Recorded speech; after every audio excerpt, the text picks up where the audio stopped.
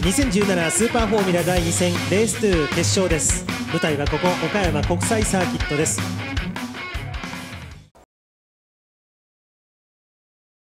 え早速スターティンググリッドをご紹介してまいりましょう。ポールポジションを獲得しましたのはここ岡山のコースレコードも記録として持っています石浦弘明 PMU セルモインギング。今シーズンの初ポールから初優勝を目指します。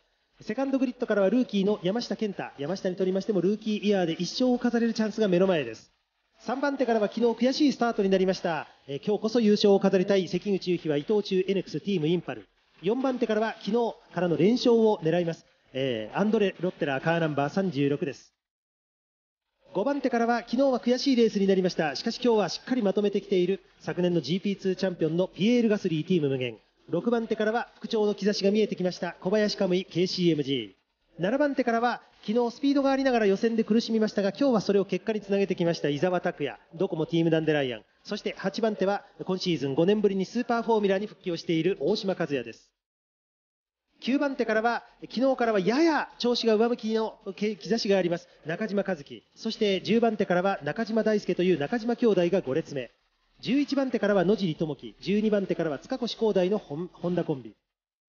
13番手からはディフェンディングチャンピオン1番の国本裕二、14番手からはナレイン・カーティケアン中島レーシング、そして15番手からはフェリックス・ローゼンクビストは昨日のレース1でファステストラップを取っています。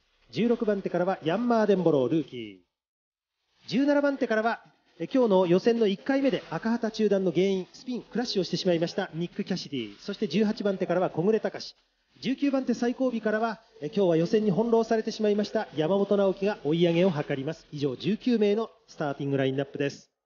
オールレッドからブラックアウトレーススタートになりました。さあスタートはどうだ？スタートはどうだ？アンドレ・ロッテラーがいいスタート。インサイドからアンドレ・ロッテラーだ。そして外側からピエール・ガスリーが砂煙を上げながら1コーナーに飛び込んでいく。いや今どうだらこれはどうやら。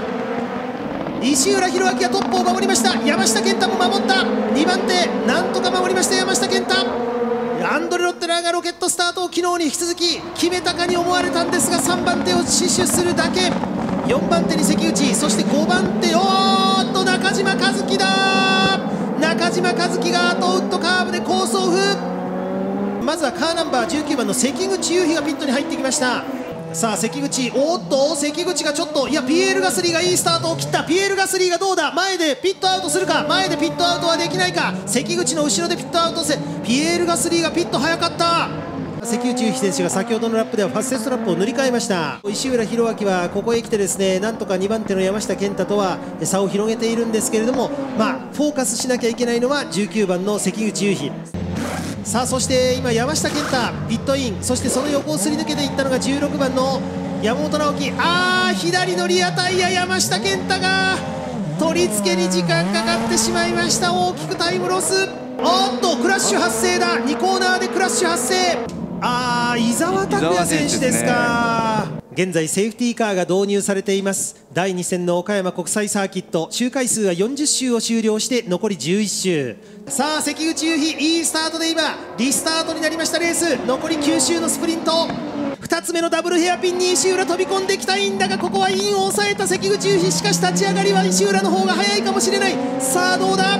マイクナイトコーナーに入ってくる。そして最終コーナーに飛び込む。さあメインストレート。最初に白いマシンか。それとも今違う。やっぱり最初は白だ。白だ。白のマシンが帰ってきた。カーナンバー19番関口雄飛昨日のリベンジ達成で今シーズン初優勝を。見事勝利しました関口雄飛選手。そして2番手石浦弘明選手。3番手ロッテラー選手という表彰台の顔ぶれ。以下ローゼンクビスト小林カムイ。そして山下ガスリー山本直樹国本そして野尻。さらにはキャシディ大島カーティケアン中島大輔小暮隆そして塚越マーデンボロー中島和樹は18番手ということで開幕戦のウィナーがまさかのえー、18位ということに終わりました。いよいよポイントランキングがロッテラーがここでトップになりましたか。そしてあ中島和樹選手が2位、えー、山本直樹選手が3位さらに石浦弘明選手関口雄飛選手がぐんと上がって5位、えー、と混沌としたこのポイント争いになってきましたよね。さあ果たしてこのランキング次戦はどう変わっていくのか楽しみになってきました。